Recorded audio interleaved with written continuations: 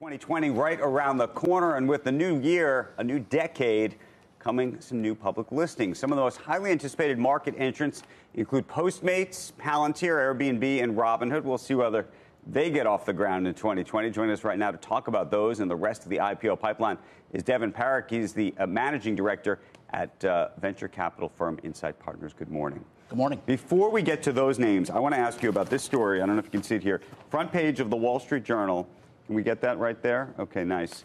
Uh, SEC moves to expand private market access. And the whole idea of this is that historically, as you know, so many of the gains have come in, come in the private markets. And frankly, it's felt like the public has been left holding the bag. And I'm thinking now of Uber and Lyft and some of these other, other IPOs. And historically, you had to be what's called an accredited investor. Yep. Somebody with a million dollars or more.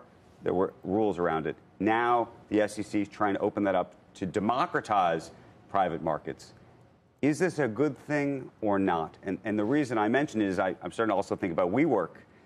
Had you owned WeWork in the private markets, you might have thought it was good, but you didn't have the detail. And it wasn't until the detail became released publicly in the S1 that people really appreciated and understood the challenges that that business had. And well, importantly, even those who had the details didn't necessarily make the best investment decisions. So first, I'd say is that there's a flaw that the public actually doesn't have access to these investments. Because if you look at us, our largest investors are pension funds. Um, and there's a massive amount of pension money, endowment money right. that is invested in But managed by professionals. But managed by professionals. I think what we're talking about is the idea that m- myself or my mother or father so my, my, my look, it's a debate between investor protection and access, right? And there's a right. view that would say a lot, there's lots of smart people, and they're not all rich, and they should have access to investments. Why well, and the, and the argument before this was that they couldn't get access until it was handed over to mm-hmm. retail investors, and as a result, they were the ones always left holding the bag. Bloated valuations. Right. Like that, this was the uh, again the inequality. You can't get in on this stuff. Personally, I think it's dangerous. Um, Personally, you're saying you don't think that that I, I, think the ability average the, Joe should have access to these. Well, things. it's. I think it's the problem is that I don't think the average person is going to get access to the information they need to make an informed decision.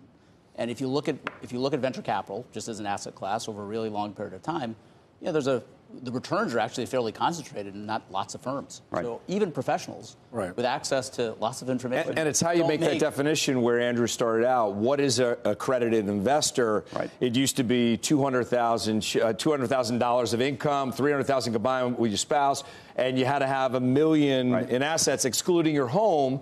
But now they're trying to do the angle of education. Right. right. Where if you are sophisticated enough, but who's deciding, who's deciding whether you're that? sophisticated? Is there a test? Is there a series that you have to Effectively, take? what they're talking about doing is not inflation indexing that anymore. So it's just with time. Right. Uh, $200,000 is a lot less money, or 100 and a million dollars in assets, a lot less time in 10 years than it is today. So just by natural you're going to have more people who are going to. But I don't think what, what I didn't see, and I, have only read the articles, right. I haven't actually seen the documents.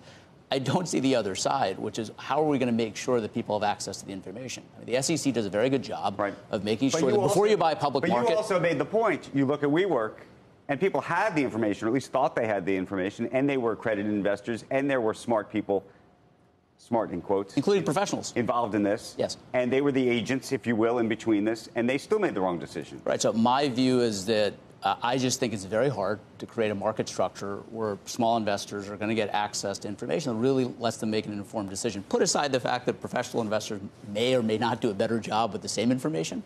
I just don't think there's an easy way. The, the only problem happen. is how could it be worse than the situation that's at hand right now, where they're buying stocks that have already reached maximum valuation and they're left holding the bag anyway. What's what's the risk to buying at a cheaper valuation? I, I understand it. Yeah. Just to push back though, how do they get hurt more in this scenario versus the one that they've already been hurt in holding the bag after everyone has made their money? So to me, the middle ground uh, would be, and now I'm going beyond having now right. read the proposal. I'm just kind of riffing here, but I think the the middle ground would be if large mutual fund companies created significant pools of capital that were professionally managed and allowed access for, for, for in effect, a Fidelity managed private equity fund that invested in these types of companies.